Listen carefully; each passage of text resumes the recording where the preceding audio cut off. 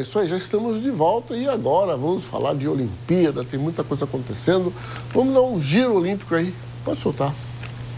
Na categoria até 63 quilos, Mariana Silva começou bem o dia. Pela manhã, ela venceu os dois primeiros combates e se classificou para a semifinal. À tarde, ela enfrentou a eslovena Tina Tristenjak, atual campeã mundial, e perdeu com uma imobilização. Na disputa do bronze, Mariana duelou com a holandesa Annika van Enden e perdeu pela pontuação mínima. Entre os homens da categoria até 81 quilos, Vitor Pernalber venceu a luta de estreia, mas no segundo combate caiu diante de Sergio Toma, dos Emirados Árabes Unidos.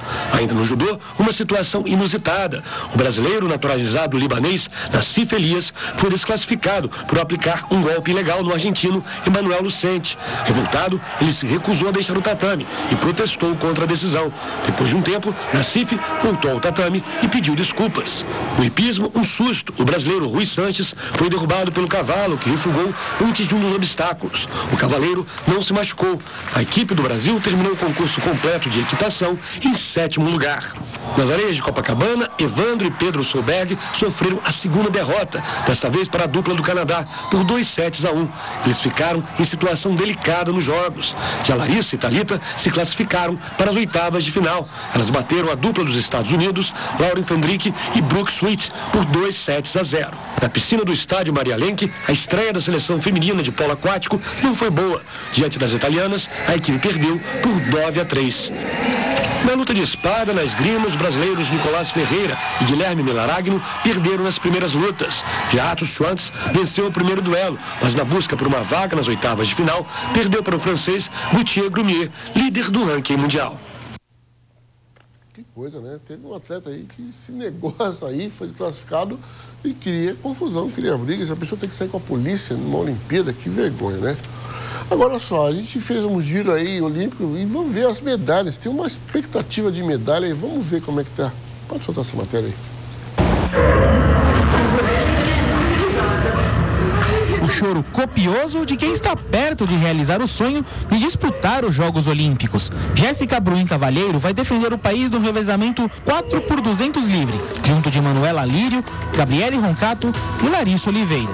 A vaga veio com o tempo de 1 minuto, 59 segundos e 5 décimos, atingido no troféu Maria Lenk nos 200 metros livre. A melhor marca de uma carreira que começou quando tinha 4 anos e disputou o primeiro torneio. De lá para cá, foi pentacampeã brasileira e duas vezes medalha de prata nos Jogos Pan-Americanos. Ah, foi uma sensação indescritível, assim. É, eu chorei bastante, fiquei muito emocionada, porque era um sonho de criança meu. E quando você concretiza seus sonhos, é, é você fica num êxtase, assim.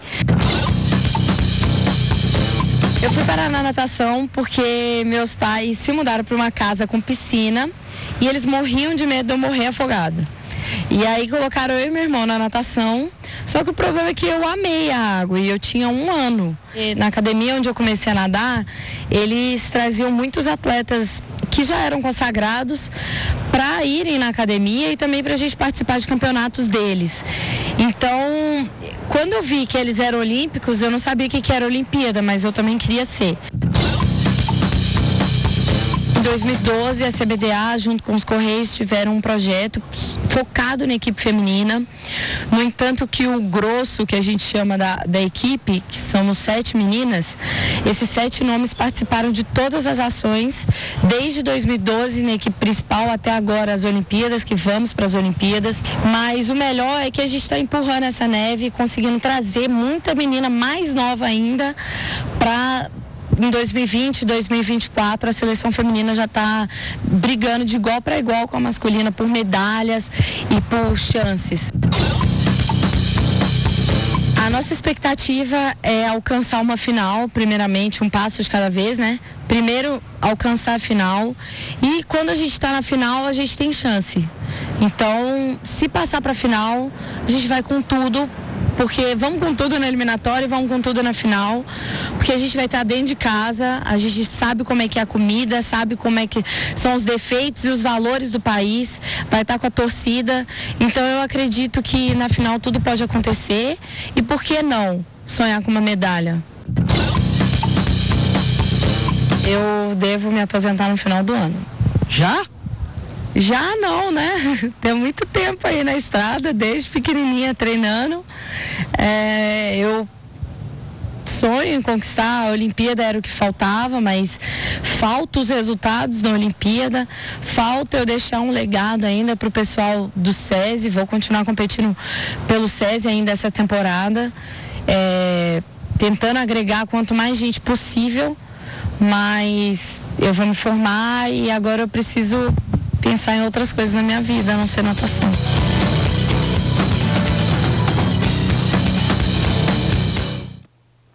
É, a expectativa né, de todo atleta.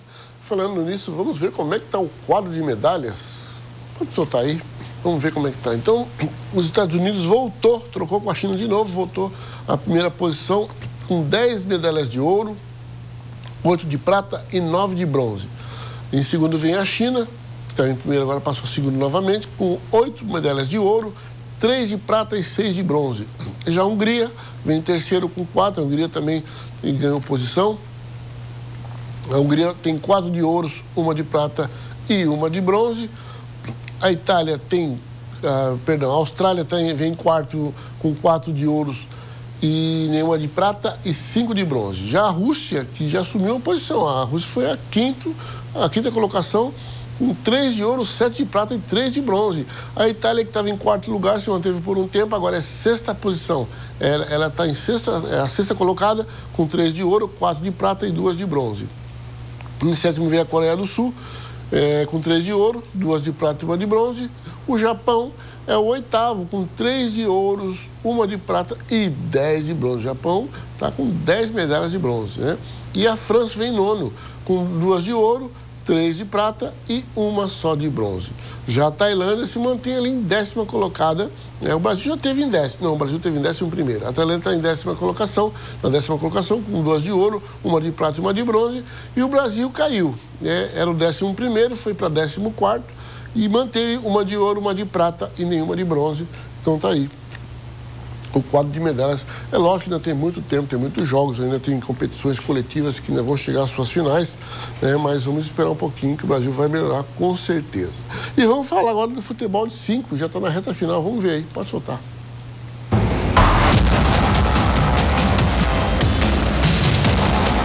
Praticado por atletas com deficiência visual, o futebol de 5 passou a integrar o programa das Paralimpíadas em Atenas, em 2004. Desde que estreou nos Jogos, todas as edições foram vencidas pelo Brasil bons jogadores e técnico. Essa é a parte da seleção brasileira de futebol de 5 que a gente conhece. Mas por trás da invencibilidade em partidas oficiais desde 2006, tem um time muito maior trabalhando. Fisioterapeuta, nutricionista, preparador físico. Como será que cada um contribui para uma seleção vitoriosa?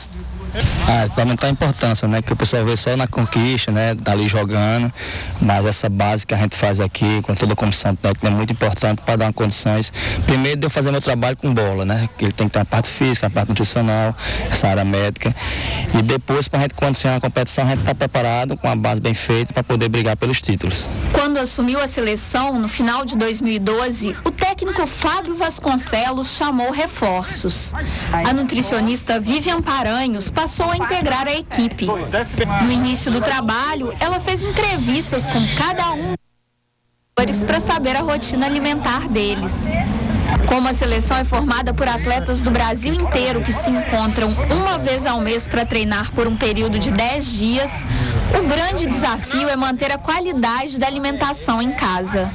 Então a gente faz a pesagem todo dia de manhã, eu faço essa avaliação de composição corporal, né, para analisar a porcentagem de gordura, massa muscular, algumas medidas de circunferência eu faço também. E aí a gente faz isso a cada encontro né, que dá mais ou menos uma vez por mês, que é o ideal em si. O trabalho do fisioterapeuta é fundamental para prevenir e tratar contusões. Existe uma incidência maior das lesões de traumatismo direto de face, são as lesões cortocontusas, é, corte de supercílios, fraturas de, de face, fraturas de nariz, que são peculiares a, ao futebol de cinco pela, pela pela deficiência do atleta, né? Pela, pela ausência da visão. Mas de um modo geral, as lesões são as mesmas, são as entosses de, de tornozelo, são as, as entosses de joelhos, são as lesões musculares que, que acometem também os atletas de futebol, o convencional e o futsal. Luiz Felipe Campos é o preparador físico. O trabalho dele consiste em deixar os atletas com uma condição física que permita uma melhor movimentação em campo. O, o Fábio, desde que assumiu a seleção em 2013, ele tem colocado desafios para a seleção o tempo todo, né, de mudar o sistema de jogo, de fazer com que os atletas eles não fiquem posicionados de forma fixa nos, nas suas posições, mas que eles se desloquem em quadra, fazendo mudanças de posição, e isso demanda uma maior exigência física, né, por parte dos atletas. A tecnologia é uma aliada na preparação dos jogadores. Esse aqui é o GPS que os atletas utilizam em todos os treinos e durante os jogos. Esse GPS ele quantifica a distância total percorrida desses atletas e com que intensidade eles se deslocam durante o treino ou durante os jogos. E nós temos também à disposição hoje o frequencímetro cardíaco que os atletas colocam na altura do tórax e ele monitora a intensidade do esforço desse atleta durante os trabalhos físicos, técnicos e durante os jogos também.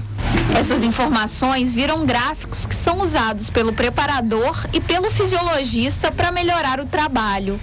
O craque Jefinho acredita que a comissão técnica contribui muito para os bons resultados da seleção. O futebol é um esporte coletivo, então não é feito só pelos jogadores que estão dentro de quadra. É, esse apoio do técnico e de toda a comissão que está fora é, nos ajuda muito para conseguir os resultados também. Por isso que toda vez que a gente faz um gol, a gente comemora junto com eles.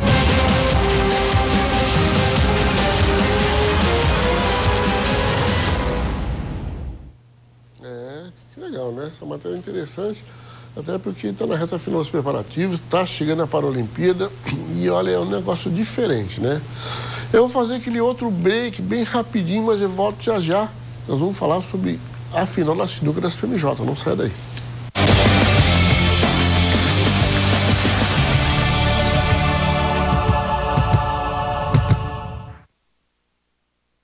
De segunda a sexta, a partir das quatro da tarde, você confere o melhor do esporte na tela da TVBE. Toda tarde você curte um jogo exclusivo, futebol masculino e feminino, vôlei masculino e feminino e muito mais. Então não perca, de segunda a sexta, a partir das quatro da tarde, o melhor do esporte é aqui na TVBE. Essa é nossa.